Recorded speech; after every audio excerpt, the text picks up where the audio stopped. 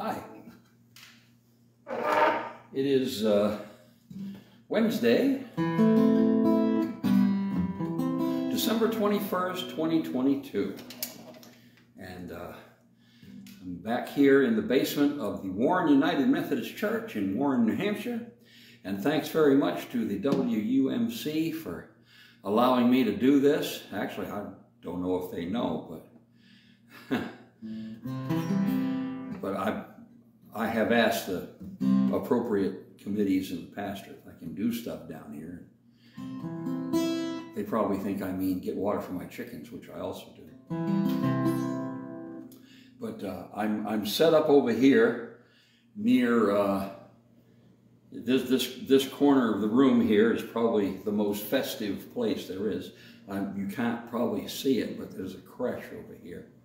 And of course, the Christmas tree behind me.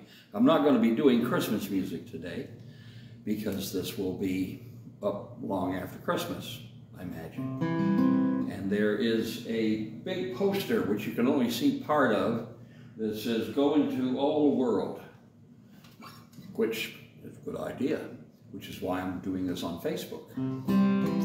But uh, I'm doing, I'm getting some of my original songs out of the way so that so that I've actually played them for somebody. Thank you very much for watching and listening. This, like I said, this is not a, a performance of Christmas music because I'm doing original material. And I don't think I've actually written any Christmas songs. You watch, you watch middle of January, I'll find three or four that I'd forgotten about. But this edition of Rick's original music is the Lane Cobb edition. That is because Lane made a request. And when people actually request my original material, well, I can't hardly help but do it, can I? So here we go. And Lane Cobb, my very good buddy, who is a marvelous musician, hangs out at a lot of the open mics in the Upper Valley. If you go to any open mics in the Upper Valley, you will probably get to meet him and you'll probably find out that he's the awesome person that I say he is, which of course he is. He's also a fine musician and a real music lover. And more times than not, whenever I'm out playing, um, he's liable to turn up. He's just a really good guy, in spite of once having been threatened with a rolling pin by my daughter. But that's because she didn't know who he was, and it was the middle of the night, and he was driving me home. And so it, it's all it's all cool. It's all good. Anyway. This first song is one of the very, very few political songs I've ever written. Those of you who know me might be surprised to learn that, but I, I don't write political songs on the whole. And yet, here's this one. And I generally say this for election cycles, and the 2022 midterms are all over with. But um, since, since Lane requested it, I'm going to do it.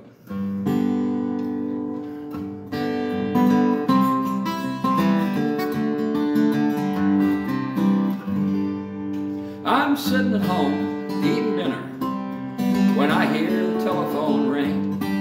It seems there's elections upcoming and they'd like to know one or two things. A half hour later I'm tired they've still got a question or two. Afterwards, I called up my neighbors, and here's what I told them to do. Hey, let's all lie to the pollsters. Let's have some fun with the press. Gallup, Harris, Zogby, let's get them all in a mess. Tell them anything we can think of, especially if it's not true. Let's all to the pollsters. I will if you will too. Man, I sure get sick of the phone calls every hour of the day. Although it does kind of touch me that they care about what I say. But when it comes out in the paper, I wonder who else they phoned. It seems like they're calling each other, and they're doing it while they're stoned. Make them all kinds of grief. Let's make them publish figures that are totally beyond belief. Let's make them look like idiots more than they already do. Let's all lie to the pollsters, cause Lord knows they lie to you.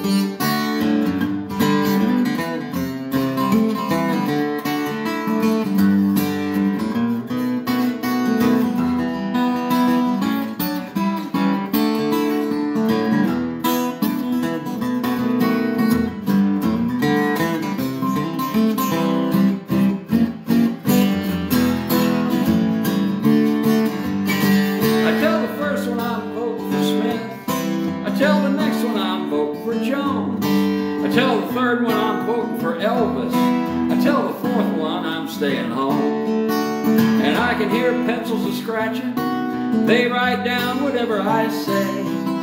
They even believe when I tell them that I'm sure glad they called me today. So let's all lie to the pollsters. Let's make them suffer and sweat. If they think the figures they've got now are weird, they ain't seen nothing yet. Let's get them all back in talk rooms, more than they're doing today. Let's all lie to the pollsters maybe they'll all go away. Yeah, let's all lie to the post. I will, if you will, today.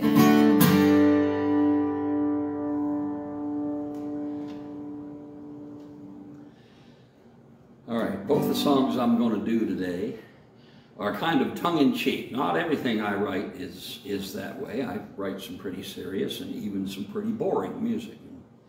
If you uh, watch this channel long enough, you'll probably get to hear it. But not today. Um, I'm, I'm focusing on songs that have been requested by my very good friend Lane Cobb. And he may not even remember that he requested this one time. Hey, do that song. And I'll, quick disclaimer, before I do that, I know, I know quite a few people. And some of them happen to be known as Jack. And um, this is not about any particular person named Jack. It's not even necessarily about anybody, you know, at all named Jack. Might even be just a little autobiographical.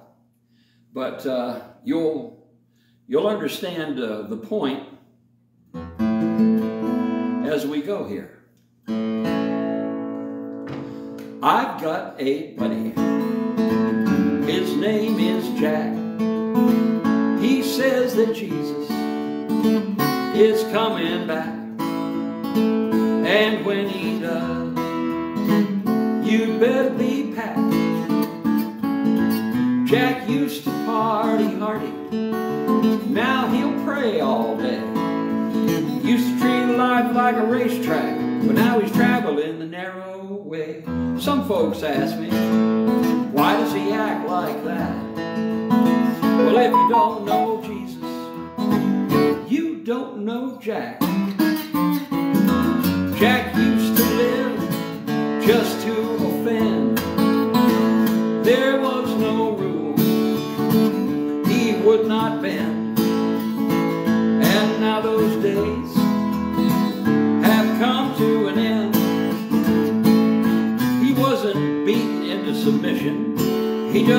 wrong for right.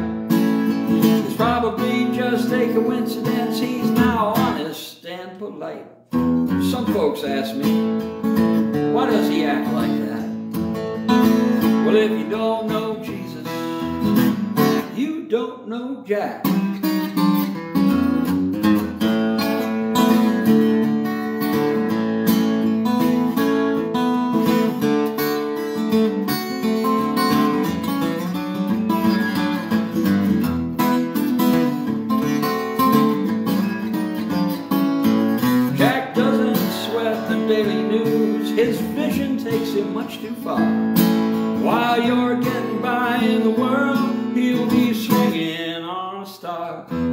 you've been listening to what I have to say. If you love the world, go ahead and stay. I know where I'll be on Judgment Day. I don't care who's the president, I hang out with the king. Everything else just comes and goes, don't mean a thing. Maybe you're wondering.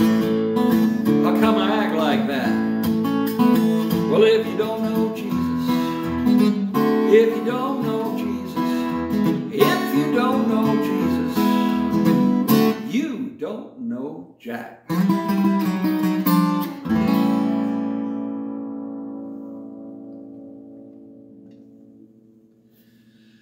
Well, that's about it for today. Have yourself a, a merry little Christmas and a happy new year. And who knows? Uh, I'm lucky, I may see you again soon. I may actually see you soon, not just you seeing me. Thanks again to Warren United Methodist Church. And uh, try and help Jesus have a happy birthday, okay? Thanks a lot. We'll see you.